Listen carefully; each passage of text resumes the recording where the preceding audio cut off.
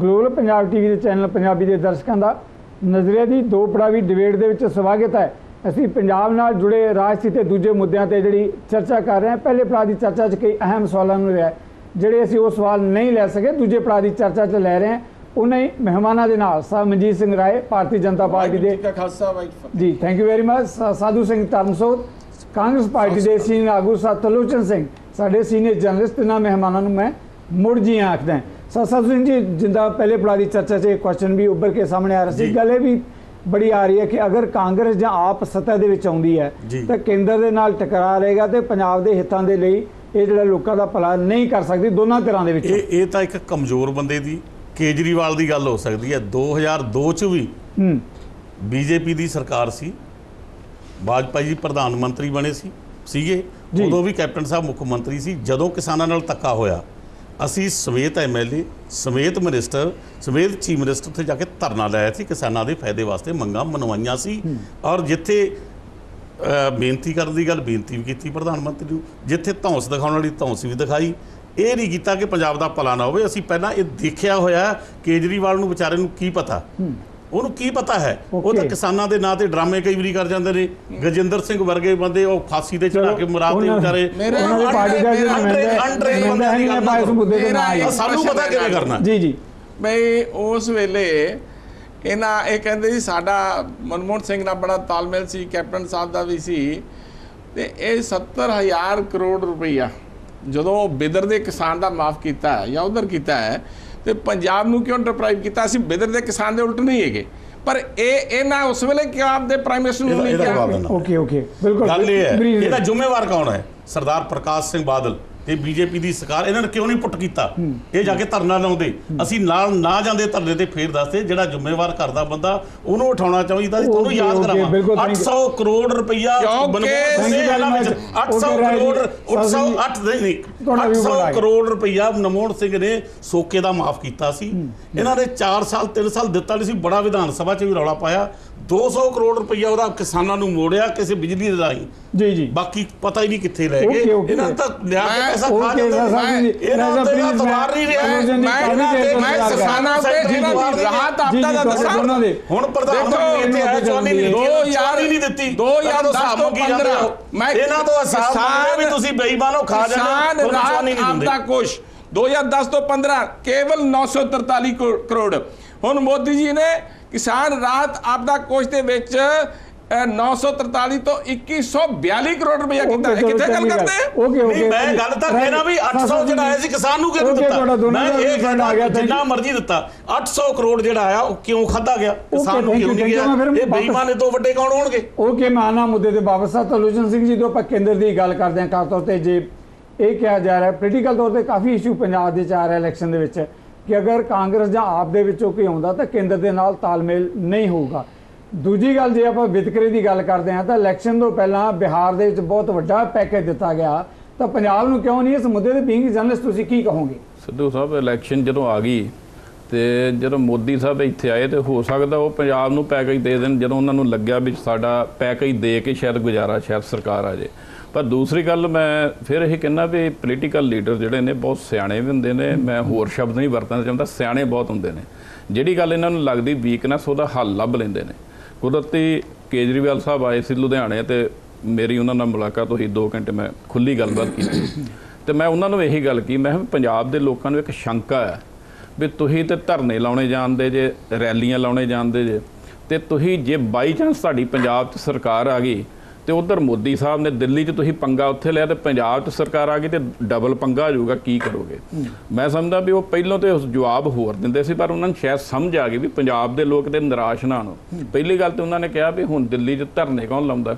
ਦਿੱਲੀ ਤੇ ਹੁਣ ਬੀਜੇਪੀ ਵਾਲੇ ਤੇ ਕਾਂਗਰਸ ਵਾਲੇ ਧਰਨੇ ਲਾਉਂਦੇ ਅਸੀਂ ਤੇ ਲਾਉਂਦੇ ਹੀ ਨਹੀਂ ਛੱਡ ਦਿੱਤੇ। ਦੂਸਰੀ ਗੱਲ ਉਹਨਾਂ ਕਹੀ ਵੀ ਜੇ ਸਾਡੀ ਸਰਕਾਰ ਬਣੀ ਤੇ ਪਹਿਲੀ ਗੱਲ ਤੇ ਅਸੀਂ ਮੈਂ ਉਹਨਾਂ ਦੇ ਪੈਰਾਂ 'ਚ ਪੈ ਜਾਊਂਗਾ, ਪੰਜਾਬ ਦੇ ਮੁੱਦਿਆਂ ਤੇ। ਤੇ ਜੇ ਪੈਰਾਂ 'ਚ ਪੈ ਕੇ ਉਹਨਾਂ ਨੇ ਨਾ ਸੁਣੀ, ਤੇ ਮੈਂ ਸਾਰੇ ਪੰਜਾਬੀਆਂ ਨੂੰ ਲੈ ਕੇ ਸੈਂਟਰ ਨੂੰ ਘੇਰ ਲੂੰਗਾ ਸੋ ਇਹ ਪੋਲੀਟੀਕਲ ਗੱਲਾਂ ਨੇ। ਵੀ ਦੂਜੀ ਗੱਲ ਵੈਸੇ ਮੈਨੂੰ ਇਹ ਪੁਆਇੰਟ ਜਿਹੜਾ ਠੀਕ ਨਹੀਂ ਲੱਗਦਾ। ਮੋਦੀ ਸਾਹਿਬ ਬੀਜੇਪੀ ਦੇ ਪ੍ਰਧਾਨ ਨਹੀਂ ਗਏ ਅ, ਪ- ਪ੍ਰਧਾਨ ਮੰਤਰੀ ਨਹੀਂ ਗਏ। ਮੋਦੀ ਸਾਹਿਬ। ਹਿੰਦੁਸਤਾਨ ਦੇ ਪ੍ਰਧਾਨ ਮੰਤਰੀ ਨੇ ਭਾਵੇਂ ਬਾਦਲ ਸਾਹਿਬ ਇੱਥੇ ਹੋਣ ਭਾਵੇਂ ਕੈਪਟਨ ਸਾਹਿਬ ਹੋਣ ਭਾਵੇਂ ਕੇਜਰੀਵਾਲ ਹੋਵੇ ਤੇ ਪ੍ਰਧਾਨ ਮੰਤਰੀ ਤੇ ਬਤੌਰ ਪ੍ਰਧਾਨ ਮੰਤਰੀ ਦੇਖੇਗਾ। ਸੋ ਇਹਦੇ ਤੇ ਸ਼ੰਕੇ ਜ਼ਰੂਰ ਨੇ। ਕਿਤੇ ਨਾ ਕਿਤੇ ਕਿਉਂਕਿ ਪੋਲੀਟੀਕਲ ਗੱਲ ਆਉਂਦੀ ਹੈ ਪ੍ਰੋਬਲਮ ਆਉਂਦੀ ਹੈ। ਪਰ ਕੋਈ ਵੀ ਪ੍ਰਧਾਨ ਮੰਤਰੀ ਹੋਵੇ ਉਹਦੇ ਲਈ ਤੇ ਪੰਜਾਬ ਜਿਹੜਾ ਇੱਕ ਹੀ ਨਾ ਜੀ ਉਹ ਤੇ ਪੰਜਾਬ ਦਾ ਸਿਰ ਮੈਂ। ਇੱਕ ਗੱਲ ਕਰਨਾ ਚਾਹੁੰਦਾ ਤੁਸੀਂ ਕੇਜਰੀਵਾਲ ਸਾਹਿਬ ਨੂੰ ਇੱਕ ਸਵਾਲ ਨਹੀਂ ਪੁੱਛਿਆ। ਓਕੇ ਬਈ ਰਹਿ ਨਹੀਂ ਇੱਕ ਇੱਕ ਮਿੰਟ ਇੱਕ- ਮਿੰਟ ਸਿੱਧੂ। ਸਾਹਿਬ ਨੂੰ ਪਲੀਜ਼ ਬਈ ਦੇਖੋ ਇੱਥੇ ਆਣ ਕੇ ਕਹਿੰਦਾ ਮੈਂ ਕਿਸਾਨਾਂ ਦੀ ਬਿਜਲੀ ਪਾਣੀ ਫ੍ਰੀ ਰੱਖੂੰਗਾ। ਉੱਥੇ ਜਿਹੜਾ ਇੱਕ ਇੱਕ ਕਿਸਾਨ ਦਾ ਇਲੈਕਟ੍ਰਿਕ ਮੀਟਰ ਲੱਗੇ। ਮੈਂ 361 ਪੰਚਾਇਤਾਂ ਨੇ ਉੱਥੇ। ਔਰ ਉਹਨਾਂ ਪੰਚਾਇਤਾਂ ਦੇ ਉਹਨਾਂ ਇਲੈਕਟ੍ਰਿਕ ਮੀਟਰ ਲੱਗੇ ਆ। ਜਦੋਂ ਬਾਕੀ ਸਰਕਾਰਾਂ ਰਹੀਆਂ ਨੇ ਉਦੋਂ ਤਾਂ ਜਿਹੜਾ ਕਮਰਸ਼ੀਅਲ ਜਿਹੜਾ ਸੀਗਾ ਉਹ ਜਾ ਕੇ 20 ਕਿਲੋਵਾਟ ਤੋਂ ਬਾਅਦ ਹੁੰਦਾ ਸੀ। ਹੁਣ ਤਾਂ ਇਹਨੇ ਤਾਂ ਕੇਜਰੀਵਾਲ ਸਾਹਿਬ ਨੇ 10 ਕਿਲੋਵਾਟ ਤੇ ਕਰ ਦਿੱਤਾ। ਰਾਏ ਜੀ, ਰਾਏ ਜੀ, 40 ਮੈਂ ਇਸ 40 ਹਜ਼ਾਰ ਦੇ ਬਿੱਲ ਆਏ ਨੇ ਰਾਏ ਜੀ ਮੈਂ ਇਸ ਮੁੱਦੇ ਤੇ ਤੇ ਕਿਸਾਨ ਰੋਂਦੇ। ਟੀਵੀ ਤੇ ਮੈਂ ਵੇਖਿਆ ਮੈਂ debate ਨੂੰ ਅੱਗੇ ਨਹੀਂ ਚਾਹੁੰਦਾ। ਡਬਲ ਪਾਲਿਸੀ ਡਬਲ ਪਾਲਿਸੀ ਇਹਨੇ ਕੁਝ ਨਹੀਂ ਕਰਨਾ। ਰਾਏ ਜੀ, please। ਨਾ ਇਹਨੇ ਕੀਤਾ ਤੇ ਨਾ ਕਰਨਾ। ਜੋ ਦਿੱਲੀ ਜੀ, ਕੀਤਾ ਮੈਂ- ਦਿੱਲੀ ਨੇ ਠੇਕੇ ਮੈਂ- ਜਨਾਨੀਆਂ ਦੇ ਠੇਕੇ ਖੋਲਦੇ ਰਾਏ ਜੀ ਰਾਏ ਜੀ ਮੈਂ ਪਲੀਜ਼ ਮੈਂ ਇੱਕ ਮਿੰਟ ਰਾਏ ਨੂੰ ਇਹਨਾਂ ਨੂੰ ਇੱਕ ਹੋਰ ਚਿੰਤਾ ਜਿਨ੍ਹਾਂ ਦੇ ਵਾਅਦਾ ਕਰਦਾ। ਰਾਏ ਸਾਹਿਬ ਮੈਨੂੰ ਲੱਗਦਾ ਕੇਜਰੀਵਾਲ ਸਾਹਿਬ ਟੀਕੇ ਲਾਉਣ 'ਚ ਬਹੁਤ ਸਿਆਣੇ ਹੋ ਗਏ ਆ। ਇੱਕ ਹੋਰ ਗੱਲ ਵੀ ਕਹਿ ਕੇ ਸ਼ਾਇਦ ਹਾਲੇ ਤੁਹਾਡੇ ਨੋਟਿਸ ਤੇ ਨਹੀਂ ਆਈ। ਮੈਂ ਮੈਂ ਆਪਣੀ ਰਿਪੋਰਟ 'ਚ ਕੀਤੀ ਸੀ। ਉਹ ਉਹਨਾਂ ਨੇ ਆਪਣੇ ਕਿਸਾਨ ਮੈਨੀਫੈਸਟੋ 'ਚ ਕਿਹਾ ਵੀ ਸਵਾਮੀ ਨਾਥਨ ਦੀ ਰਿਪੋਰਟ ਜਿਹੜੀ ਹੈ ਉਹ ਮੈਂ ਪੰਜਾਬ 'ਚ ਲਾਗੂ ਕਰੂੰਗਾ। ਮੈਂ ਸਵਾਲ ਕੀਤਾ ਤੁਸੀਂ ਕਿਵੇਂ ਕਰੋਗੇ? ਇਹ ਤਾਂ ਸੈਂਟਰ ਗਵਰਨਮੈਂਟ ਦਾ ਮੁੱਦਾ ਆ।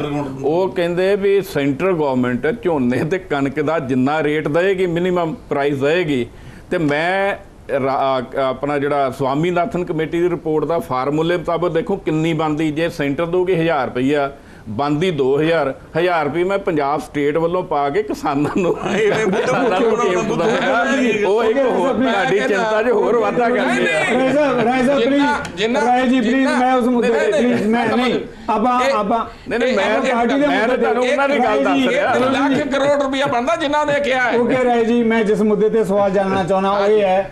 ਕਿ ਜੇ। ਬਿਹਾਰ ਦੇ ਵਿੱਚ ਜਿਹੜਾ ਪੀਐਮ ਮੋਦੀ ਜਾ ਕੇ ਉੱਥੇ ਸਪੈਸ਼ਲ ਜਿਹੜਾ ਹੈਗਾ ਅਨਾਉਂਸ ਕਰਦਾ ਜਿਹੜਾ ਹੈਗਾ ਉਹਨਾਂ ਨੂੰ ਸਪੈਸ਼ਲ ਪੈਕੇਜ ਦਿੰਦਾ ਹੈ। ਤਾਂ ਪੰਜਾਬ ਦਾ ਜਿਹੜਾ ਮੁੱਖ ਮੰਤਰੀ ਹੈ ਕਿੰਨੇ ਵਾਰੀ ਜਾ ਕੇ ਉਹਨੇ ਸਪੈਸ਼ਲ ਪੈਕੇਜ ਦੀ ਗੱਲ ਕੀਤੀ ਆਪਾਂ ਉਹਦੀ ਗੱਲ ਨਾ ਕਰੋ ਕੇਜਰੀਵਾਲ ਦੀ। ਤਾਂ ਪੰਜਾਬ ਲਈ ਸਪੈਸ਼ਲ ਪੈਕੇਜ ਕਿਉਂ ਨਹੀਂ? ਮੇਰੀ ਇੱਕ ਗੱਲ ਸੁਣੋ ਸਿੱਧੂ ਸਾਹਿਬ ਆਪਾਂ ਸਪੈਸ਼ਲ ਪੈਕੇਜ ਦੀ ਗੱਲ ਕਰਦੇ ਹਾਂ। ਬਿਲਕੁਲ।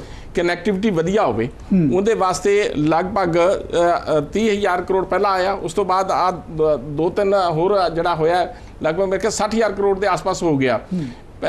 ਕਿਸਾਨਾਂ ਲਈ 35984 ਕਰੋੜ ਦਾ ਬਜਟ ਰੱਖਿਆ। ਉਹਦੇ ਚ ਵੀ ਕਿਸਾਨਾਂ ਵਾਸਤੇ ਆਇਆ। ਰਾਹਤ ਆਪਦਾ ਵਿੱਚ ਮੈਂ ਤੁਹਾਨੂੰ ਦੱਸਿਆ ਵੀ ਤਿੰਨ ਗੁਣਾ ਵਾਧਾ ਕਰ ਦਿੱਤਾ। ਔਰ ਕਿਸਾਨਾਂ ਦੇ ਜਿਹੜੀ ਹੈਗੀ ਹੈ ਆਪਣੀ ਜਿਹੜੀ ਫਸਲ ਬੀਮਾ ਯੋਜਨਾ ਉਹਨੂੰ ਲਾਗੂ ਕੀਤਾ।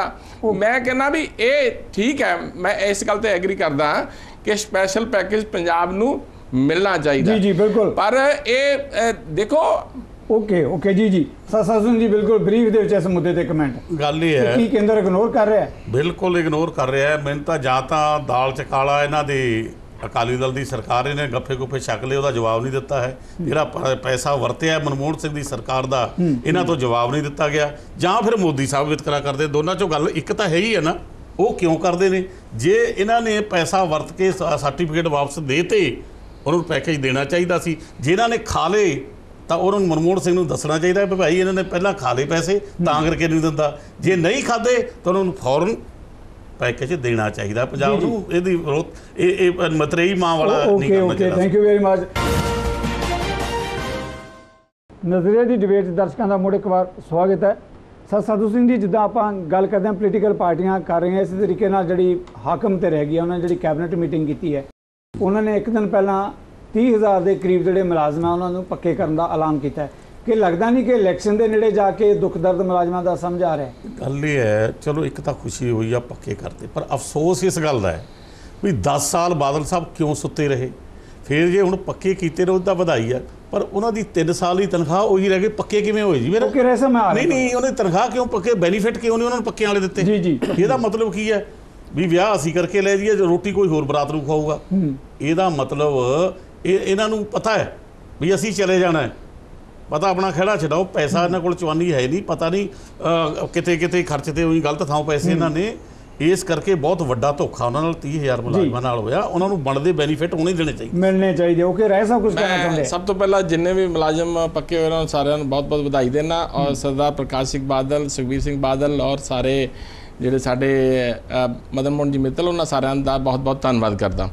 ਔਰ ਜਿਹੜਾ ਇਹ ਕਹਿੰਦੇ ਜੀ ਉਹ ਜਿਹੜੇ ਮੁਲਾਜ਼ਮ ਪੱਕੇ ਹੋਏ ਆ ਹੁਣ ਕੀਤੇ ਆ ਪਹਿਲੀ ਗੱਲ ਤਾਂ ਇਹਨਾਂ ਨੂੰ ਵੈਲਕਮ ਕਰਨਾ ਚਾਹੀਦਾ। ਚਲੋ ਕੀਤਾ ਅੱਧੇ ਮਨ ਨਾਲ ਕੀਤਾ, ਪਰ ਮੈਂ- ਮੈਂ ਦੱਸ ਦੇਵਾਂ ਮੈਂ ਦੱਸ ਦੇਵਾਂ। ਇਹ ਨਾ ਅਸੀਂ ਤਾਂ ਦੇਖੋ 45000 ਪਿੱਛੇ ਕੀਤਾ ਸੀ 68000 ਟੀ- ਟੀਚਰ ਭਰਤੀ ਕੀਤਾ। ਔਰ ਇਸ ਤੋਂ ਇਲਾਵਾ ਅ, 30000 ਹੁਣ ਜਿਹੜਾ ਜਿਹੜੇ ਕਿ ਜਿਨ੍ਹਾਂ ਜਿਹੜੇ ਕੰਮ ਕਰ ਰਹੇ ਸੀਗੇ ਉਹਨਾਂ ਨੂੰ ਪੱਕਿਆ ਕੀਤਾ ਔਰ ਜਿਹੜੇ ਬਾਹਰ ਆਊਟਸੋਰਸ ਰਾਹੀਂ ਕੰਮ ਕਰ ਰਹੇ ਸੀ ਉਹਨਾਂ ਨੂੰ ਕਿਹਾ ਵੀ ਉਹ ਕੰਟਰੈਕਟ ਤੇ ਆਟੋਮੈਟਿਕਲੀ ਬੋਰਡ ਕਾਰਪੋਰੇਸ਼ਨ ਜਿੱਥੇ ਜਿੱਥੇ ਲੱਗੇ ਉੱਥੇ ਆ ਜਾਣਗੇ। ਔਰ ਜਿਹੜੀ ਮੈਂ ਇੱਕ ਇਹਨਾਂ ਨੂੰ ਪ੍ਰਸ਼ਨ ਪੁੱਛਣਾ ਚਾਹੁੰਦਾ ਸਾਧੂ ਸਿੰਘ ਜੀ ਹਰਾਂ ਨੂੰ। ਜੀ। ਵੀ ਇਹ ਡਿਊਰਿੰਗ ਕੈਪਟਨ ਸਾਹਿਬ ਦੇ ਰਾਜ ਦੇ ਵਿੱਚ ਪੋਸਟਾਂ ਦਾ ਕੀ ਦੇਣੀ ਆਂਦੀ ਸੀ? ਜਿਹੜੀ ਪੋਸਟ ਖਤਮ ਹੁੰਦੀ ਸੀ ਉਹਨੂੰ ਅਬੋਲਿਸ਼ ਕਰ ਦਿੰਦੇ ਸੀ ਵਿਦਿਨ 6 ਮੰਥ ਕੋਈ ਵੀ ਭਰਤੀ ਨਹੀਂ ਕੀਤੀ। ਇੱਕ ਭਰਤੀ ਇਹਨਾਂ ਨੇ ਉਹ ਪੀਟੀਆਈ ਦੇ ਕੀਤੀ ਸੀਗੀ। ਉਹਨਾਂ 'ਚ ਇੰਨੇ ਡਿਫੈਕਟ ਇਹਨਾਂ ਨੇ ਜਿਹੜੀ ਐਡਵਰਟਾਈਜ਼ਮੈਂਟ 'ਚ ਦਿੱਤੇ ਉਹ ਹਾਈ ਕੋਰਟ 'ਚ ਫਸੀ ਹੋਈ ਹੈ। ਸੋ ਮੈਂ ਸਮਝਦਾ ਕਿ ਇਹਨਾਂ ਤਾਂ ਕਿਸੇ ਨੂੰ ਇੱਕ ਨੂੰ EMPLOYMENT ਨਹੀਂ ਦਿੱਤੀ ਕਿਸੇ ਇੱਕ ਨੂੰ ਪੱਕਿਆ ਨਹੀਂ ਕੀਤਾ। Okay, ਤੁਸੀਂ ਤਾਂ ਅਸੀਂ ਜੋ ਕੁਝ ਅਸੀਂ ਕੀਤਾ ਹੈ ਉਹਨੂੰ ਇਹ ਇਮਾਨਦਾਰੀ ਤੁਸੀਂ। ਕੀਤਾ ਵਾਹ ਪਰਮਾਤਮਾ ਸਾਰੀ ਦੁਨੀਆ ਦੇ ਕਿਤੇ ਨਾ ਕਰਾਵੇ। ਕੀ- ਜੀ ਜੀ ਐਪਰੀਸ਼ੀਏਟ ਕਰ ਦਿਓ ਥੈਂਕ ਯੂ ਔਰ ਬਹੁਤ ਵਧੀਆ ਕੰਮ ਇਹ ਓਕੇ। ਥੈਂਕ ਯੂ ਅੱਛਾ ਮੈਂ ਆਣਾ ਹੀ ਤੁਹਾਡੇ ਵੱਲ। ਜੀ। ਸਤਲੁਜਨ ਸਿੰਘ ਜੀ ਤੁਸੀਂ ਬੀਇੰਗ ਅ ਜਨਰਲ ਲੰਬੇ ਸਮੇਂ ਤੋਂ EMPLOYEES ਨੂੰ ਕਵਰ ਵੀ ਕਰਦੇ ਆ ਰਹੇ ਇਸ ਮੁੱਦੇ ਤੇ ਤੁਹਾਡੇ ਕੀ ਕਮੈਂਟਸ ਹੈ? ਸਿੱਧੂ ਸਾਹਿਬ ਬੜਾ ਵੱਡਾ ਦੁਖਾਂਤ ਹੈ। ਭਾਵੇਂ ਕੈਪਟਨ ਸਰਕਾਰ ਸੀ ਭਾਵੇਂ ਬਾਦਲ ਸਰਕਾਰ ਆ। ਇਹਨਾਂ ਨੇ ਠੇਕਾ ਸਿਸਟਮ ਸ਼ੁਰੂ ਕੀਤਾ।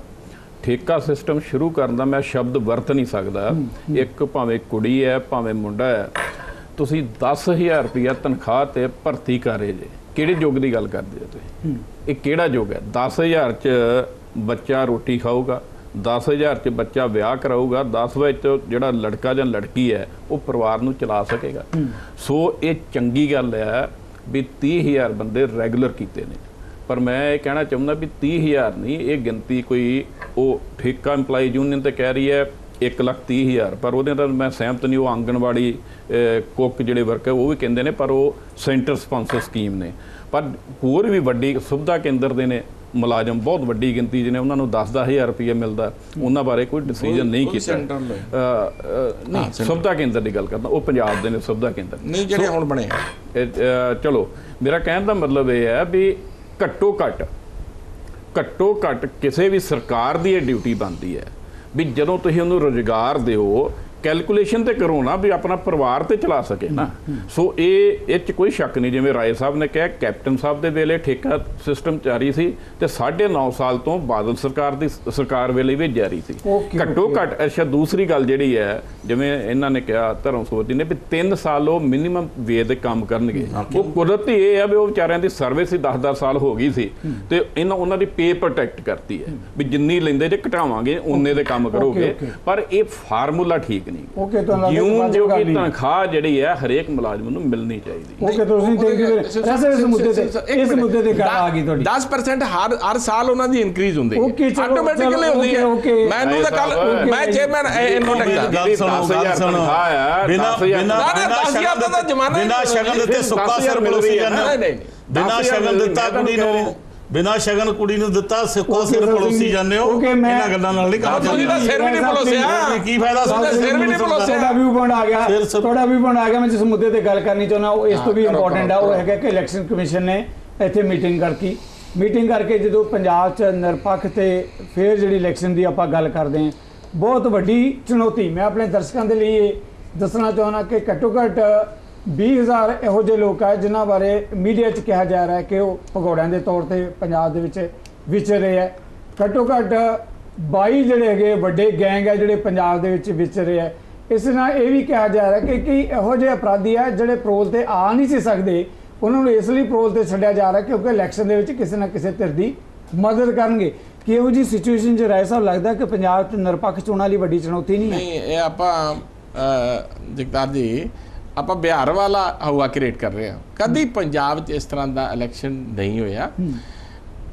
ਠੀਕ ਹੈ ਸਾਡੇ ਮਤਭੇਦ ਹੋ ਸਕਦੇ ਆ ਵਿਚਾਰਕ ਮਤਭੇਦ ਹੋ ਸਕਦੇ ਆ ਪਰ ਇਲੈਕਸ਼ਨ ਹਮੇਸ਼ਾ ਵਿਦ ਡਿਊ ਪ੍ਰੋਸੈਸ ਵਧੀਆ ਢੰਗ ਤਰੀਕੇ ਨਾਲ ਹੁੰਦੀ ਹੈ ਔਰ ਕੋਈ ਵੀ ਉੱਥੇ ਨੇੜੇ ਚਿੜੀ ਨਹੀਂ ਫੜਕਦੀ। ਔਰ ਅਸੀਂ ਵੀ ਕਹਿੰਦੇ ਆ ਅਸੀਂ ਮੰਨਦੇ ਆ ਕਿ ਹਮੇਸ਼ਾ ਜਿਹੜੀ ਇਲੈਕਸ਼ਨ ਕੋਈ ਵੀ ਇਲੈਕਸ਼ਨ ਹੋਵੇ ਇਲੈਕਸ਼ਨ ਫ੍ਰੀ ਐਂਡ ਫੇਅਰ ਹੋਣੀ ਚਾਹੀਦੀ ਮੈਂ ਵੀ ਇਲੈਕਸ਼ਨ ਕਮਿਸ਼ਨ ਨੂੰ ਮਿਲ ਕੇ ਗੱਲ ਬਿਲਕੁਲ ਵਾਜਬ ਹੈ ਮੈਂ ਮੈਂ ਮੈਂ ਕਹਿ ਕੇ ਮੈਂ ਕਹਿ ਕੇ ਇਸ। ਇਸ਼ੂ ਤੇ ਵੀ ਕਹਿ ਕੇ ਆ ਫ੍ਰੀ ਐਂਡ ਫੇਅਰ ਹੋਵੇ ਹੋਰ ਵੀ ਦੋ ਤਿੰਨ ਇਸ਼ੂ ਸੀ ਜਿਹੜੇ। ਐਡੀਟੋਰੀਅਲ ਨਿਊਜ਼ ਵਾਲੇ ਪੇਡ ਨਿਊਜ਼ ਵਾਲੇ ਉਹ ਵੀ ਅਸੀਂ ਗੱਲ ਕੀਤੀ ਹੈ, ਮੈਂ ਕਿ. ਉਹਦੇ ਵਿੱਚ ਜਿਹੜੀ ਐਕਸਪਲੋਇਟੇਸ਼ਨ ਹੁੰਦੀ ਹੈ ਕੈਂਡੀਡੇਟਸ ਦੀ। ਉਹ ਉਹ ਉਹ ਬਹੁਤ ਇੱਕ ਚਿੰਤਾ ਦਾ. ਵਿਸ਼ੇ ਹੈਗਾ ਔਰ ਉਹ ਵੀ ਮੈਂ ਗੱਲ ਉਹਨਾਂ ਦੇ ਅੱਗੇ ਰਾਜ ਜੀ, ਭਾਈ you. ਇਸ ਤਰ੍ਹਾਂ ਨਹੀਂ ਹੋਣਾ ਚਾਹੀਦਾ ਇਹਨਾਂ ਨੂੰ ਜੀ, ਵੀ ਜੀ। ਚਿੰਤਾ ਪਤਾ ਸਾਧੂ ਮਿਲੂਗੀ ਨਹੀਂ ਜੀ। ਟਿਕਟ ਕਿਤੋਂ ਸਾ ਸਾਧੂ ਸਿੰਘ ਜੀ ਇਸ ਮੁੱਦੇ ਤੇ ਪੰਜਾਬ 'ਚ ਫ੍ਰੀ ਨਹੀਂ, ਮੈਂ ਵੀ ਹੋ ਸਕਦਾ ਤੁਹਾਡੇ ਨਾਲ ਉੱਥੇ ਆ ਕੇ ਸਾਹਿਬ ਕਰਾਂਗੇ actually। ਰਾਏ ਸਾਹਿਬ ਤੁਹਾਡਾ ਵੀ। ਪੁਆਇੰਟ ਆ ਗਿਆ ਰਾਏ ਜੀ ਤੁਹਾਡਾ ਵੀ ਪੁਆਇੰਟ ਆ ਗਿਆ ਜੀ। ਸਾ ਸਾਧੂ ਸਿੰਘ ਜੀ ਜਦੋਂ ਆਪਾਂ ਨਿਰਪੱਖ ਚੋਣਾਂ ਦੀ ਗੱਲ ਕਰਦੇ ਹਾਂ ਪੰਜਾਬ ਜਿਹੜਾ ਇਲੈਕਸ਼ਨ ਕਮਿਸ਼ਨ ਨੇ ਮੀਟਿੰਗ ਕਰਕੇ ਕਿਹਾ ਔਰ ਅਧਿਕਾਰੀਆਂ ਨੂੰ ਤਾੜਨਾ ਕੀਤੀ ਹੈ ਕਿ ਤੁਸੀਂ ਨਿਰਪੱਖ ਬੇਵੀ ਰੱਖੋ ਤੁਸੀਂ ਕੀ ਕਹੋਗੇ ਬਿਲਕੁਲ ਇਹ ਇਲੈਕਸ਼ਨ ਕਮਿਸ਼ਨ ਦਾ ਫਰਜ਼ ਬਣਦਾ ਜਿੱਥੇ ਉਹਨੂੰ ਕੋਈ ਉਣਤਾਈ ਲੱਗਦੀ ਹੈ ਉਹਨੂੰ ਪੂਰੀ ਕਰਨੀ ਚਾਹੀਦੀ ਹੈ ਕੱਲ ਨੂੰ ਕੋਈ ਰਿਸਕ ਲੈ ਲਵੇ ਕੋਈ ਮਾੜੀ ਚੰਗੀ ਗੱਲ ਹੋ ਜਾਵੇ ਤਾਂ ਇਲੈਕਸ਼ਨ ਕਮਿਸ਼ਨ ਨੂੰ ਮਾਫ ਨਹੀਂ ਕਰਨਾ। ਜਿੱਥੇ ਫੋਰਸ ਦੀ ਜ਼ਰੂਰਤ ਹੈ ਫੋਰਸ ਲਾਉਣੀ ਚਾਹੀਦੀ ਹੈ। ਜਿੱਥੇ ਕੋਈ ਸ਼ੱਕ ਗਲਤ ਬੰਦਾ, ਉਹਦਾ ਚੇਂਜ ਕਰਨਾ ਚਾਹੀਦਾ ਹੈ। ਜਿੱਥੇ ਅਫਸਰ ਕੋਈ ਗਲਤ ਹੈ, ਲਾਇਆ ਹੋਇਆ, ਕਿਸੇ ਪਾਰਟੀ ਦਾ, ਉਹਨੂੰ ਚੇਂਜ ਕਰਨਾ ਚਾਹੀਦਾ ਹੈ। ਸਾਫ਼ ਸੁਥਰੀ ਇਲੈਕਸ਼ਨ ਹੋਣੀ ਚਾਹੀਦੀ ਹੈ। ਕੋਈ ਵੀ ਤਰੀਕਾ ਅਪਣਾਵੇ, ਇਲੈਕਸ਼ਨ ਕਮਿਸ਼ਨ ਨੂੰ ਫ੍ਰੀ ਹੈਂਡ ਹੋਣਾ ਚਾਹੀਦਾ। ਓਕੇ। ਸੋਲੂਸ਼ਨ ਜੀ, ਜਦੋਂ ਇਹ ਕਿਹਾ ਜਾ ਰਿਹਾ ਕਿ ਪੰਜਾਬ ਦੇ ਵਿੱਚ ਪੁਲਿਸ ਜਾਂ ਅਫਸਰਸ਼ਾਹੀ ਜਿਹੜੀ ਹੈਗੀ ਹੈ, ਉਹ ਰਾਸ਼ਟਰੀ ਤੌਰ ਤੇ ਆਪਸ ਵਿੱਚ ਮਿਲੀ ਭੁਗਤ ਦੇ ਨਾਲ ਬਹੁਤ ਵੱਡੀ ਚੁਣੌਤੀ ਬਣੀ ਖੜੀ ਹੈ ਇਹਨਾਂ ਮੁੱਦਿਆਂ ਤੇ।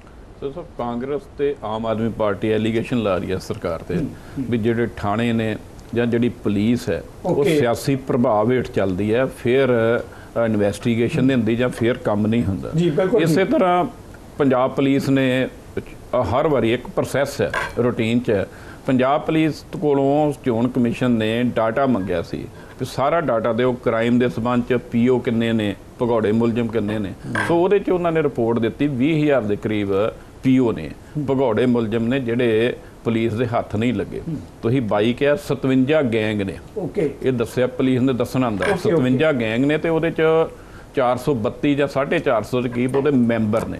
ਉਹਦੇ ਚ ਪੁਲਿਸ ਨੇ ਦੱਸਿਆ ਵੀ ਕੁਛ ਅਸੀਂ ਫੜ ਲਏ ਆ ਆਮ ਆਦਮੀ ਪਾਰਟੀ ਤੇ ਕਾਂਗਰਸ ਨੇ ਡਿਮਾਂਡ ਕੀਤੀ ਵੀ ਸਾਨੂੰ ਪੰਜਾਬ ਪੁਲਿਸ ਤੇ ਵਿਸ਼ਵਾਸ ਨਹੀਂਗਾ। ਇਲੈਕਸ਼ਨ ਜਿਹੜੀ ਆ ਸੈਂਟਰਲ ਫੋਰਸ ਜਿਹੜੀਆਂ ਉਹ ਤਨਾਤ ਕਰਕੇ ਕਰਵਾਈ okay solution ji thank you very much ਅਸੀਂ ਆਪਣੇ ਮਹਿਮਾਨਾਂ ਦੇ ਨਾਲ ਪੰਜਾਬ ਦੀਆਂ ਜਿਹੜੀ ਪੋਲੀਟੀਕਲ ਪਾਰਟੀਆਂ, ਉਹਨਾਂ ਦੀਆਂ ਸਰਗਰਮੀਆਂ ਤੇ ਉਹਨਾਂ 'ਚ ਉੱਠ ਰਹੇ ਜਿਹੜੇ ਮੁੱਦੇ ਹੈ, ਉਹਨਾਂ ਤੇ ਲੈ ਕੇ ਦੋ ਪੜਾਵੀ ਚਰਚਾ ਕੀਤੀ ਹੈ। ਇਹ ਬਿਲਕੁਲ ਠੀਕ ਹੈ ਕਿ ਇਹਨਾਂ ਦਿਨਾਂ 'ਚ ਆਮ ਆਦਮੀ ਪਾਰਟੀ ਦੇ ਸੁਪਰੀਮੋ ਅਰਵਿੰਦ ਕੇਜਰੀਵਾਲ ਜਦੋਂ ਆਏ, ਤਾਂ ਸੁਭਾਵਿਕ ਹੈ ਕਿ ਦੂਜੀਆਂ ਪੋਲੀਟੀਕਲ ਪਾਰਟੀਆਂ ਦੇ ਅੰਦਰ ਵੀ ਚੁਣੌਤੀ ਦੇ ਤੌਰ ਤੇ ਦੇਖਿਆ ਜਾਂਦਾ ਹੈ। ਪਰ ਇਹ ਸਮਾਂ ਹੀ ਤੈਅ ਕਰੇਗਾ, ਇਹਨਾਂ 'ਚੋਂ ਕਿਹੜੀ ਧਿਰ ਆਪਣੇ ਦਾਅਵਿਆਂ ਤੇ ਵਾਅਦਿਆਂ ਤੇ ਖਰੀ ਉਤਰਦੀ ਹੈ। ਇੰਨਾ ਜ਼ਰੂਰ ਹੈ, ਜਿੱਦਾਂ ਤਲੋਚਨ ਜੀ ਨੇ ਵੀ ਇਹ ਗੱਲ ਕਹੀ ਹੈ, ਕਿ ਇਲੈਕਸ਼ਨ ਕਮਿਸ਼ਨ ਲਈ ਐਸੇ ਪੰਜਾਬ ਦੀਆਂ ਜਿਹੜੀਆਂ ਚੋਣਾਂ ਇੱਕ ਵੱਡੀ ਚੁਣੌਤੀ ਦੇ ਤੌਰ ਤੇ ਸਾਹਮਣੇ ਖੜੀਆਂ। ਇਹਨਾਂ ਸਾਰੇ ਮੁੱਦਿਆਂ ਤੇ ਚਰਚਾ ਚਾਉਣ ਦੇ ਲਈ ਮੈਂ ਰਾਏ ਸਾਹਿਬ ਧਰਮਸੋਤ ਜੀ ਇਸੇ ਤਰੀਕੇ ਨਾਲ ਸਾਹਿਬ ਤਲੋਚਨ ਸਿੰਘ ਤਿੰਨੇ ਮਹਿਮਾਨਾਂ ਦਾ ਧੰਨਵਾਦੀ ਹਾਂ। ਮਹਿਮਾਨਾਂ ਦੇ ਧੰਨਵਾਦ ਦੇ ਨਾਲ ਅਸੀਂ ਆਪਣੇ ਦਰਸ਼ਕਾਂ ਨੂੰ ਮੁੜੇ ਅਹਿਮ ਜਾਣਕਾਰੀ ਦੇਣਾ ਚਾਹੁੰਦੇ ਹਾਂ ਕਿ ਗਲੋਬਲ ਪੰਜਾਬ ਚੈਨਲ ਸੰਬੰਧੀ ਜਿਹੜਾ ਗਲੋਬਲ ਪੰਜਾਬ ਟੀਵੀ ਜੋ ਕੁਝ ਮਹੀਨੇ ਪਹਿਲਾਂ ਕਿਸੇ ਨਿੱਜੀ ਕਾਰਨਾਂ ਕਰਕੇ ਡਿਸ਼ ਨੈਟਵਰਕ ਤੋਂ ਬੰਦ ਹੋ ਚੁੱਕਿਆ ਸੀ ਪਰ ਦਰਸ਼ਕਾਂ ਦੇ ਪਿਆਰ ਸਦਕਾ ਗਲੋਬਲ ਪੰਜਾਬ ਟੀਵੀ ਨੇ ਆਪਣੇ ਹਰਮਨ ਪਿਆਰੇ ਪ੍ਰੋਗਰਾਮ ਤੁਹਾਡੇ ਤੱਕ ਪਹੁੰਚਾਉਣ ਲਈ ਗਲੋਬਲ ਸੀਪੀਐਮ ਨਾਂ ਦੀ ਇੱਕ ਐਪ ਲਾਂਚ ਕੀਤੀ ਹੈ। ਇਸ ਐਪ ਨੂੰ ਡਾਊਨਲੋਡ ਕਰਕੇ ਤੁਸੀਂ ਤਿੰਨ ਚੈਨਲਾਂ ਦਾ ਪੈਕ 7 ਡਾਲਰ ਖਰਚ ਕੇ ਲੈ ਸਕਦੇ ਹੋ। ਇਸ ਐਪ ਨੂੰ ਤੁਸੀਂ globalcpm.com ਤੇ ਜਾ ਕੇ ਸਬਸਕ੍ਰਾਈਬ ਕਰ ਸਕਦੇ ਹੋ। ਗਲੋਬਲ ਸੀਪੀਐਮ ਦੀ ਐਪ ਸਬਸਕ੍ਰਾਈਬ ਕਰਨ ਦੇ ਤੁਹਾਨੂੰ ਧਾਰਮਿਕ ਚੈਨਲ ਆਤਮਰਸ ਮਿਲੇਗਾ, ਜੋ ਤੁਹਾਨੂੰ ਗੁਰਬਾਣੀ ਤੇ ਹੋਰ ਪ੍ਰੋਗਰਾਮਾਂ ਨਾਲ ਜੋੜੇਗਾ। ਇਸ ਤੋਂ ਇਲਾਵਾ ਗਲੋਬਲ ਪੰਜਾਬ ਟੀਵੀ ਤੁਸੀਂ ਖਬਰਾਂ ਡਿਬੇਟ ਤੇ ਸਾਡੇ ਸਹਿਯੋਗੀ ਪੱਤਰਕਾਰ ਸੁਰਿੰਦਰ ਸਿੰਘ ਦੇ ਸ਼ੋਅ ਅਤੇ ਹੈਲੋ ਗਲੋਬਲ ਪੰਜਾਬ ਰਾਹੀਂ ਕਮਰ ਸੰਧੂ ਨਾਲ ਸਿੱਧੀ ਗੱਲਬਾਤ ਕਰ ਸਕਦੇ ਹੋ। ਗਲੋਬਲ ਸੀਪੀਐਨ ਪੈਕ ਤੀਜਾ ਚੈਨਲ ਚੈਨਲ ਪੰਜਾਬੀ ਬੀਟ ਤੁਹਾਨੂੰ ਨਵੇਂ ਪੁਰਾਣੇ ਗੀਤਾਂ ਨਾਲ ਮਨੋਰੰਜਨ ਕਰਾਏਗਾ। ਇੱਕ ਹੋਰ ਖਾਸ ਜਾਣਕਾਰੀ ਕਿ ਇਹਨਾਂ ਤਿੰਨਾਂ ਚੈਨਲਾਂ ਨੂੰ ਤੁਸੀਂ roku ਟੀਵੀ ਦੇ ਜ਼ਰੀਏ ਦੁਨੀਆ ਦੇ ਕਿਸੇ ਵੀ ਕੋਨੇ 'ਚ ਦੇ ਸਕਦੇ ਹੋ।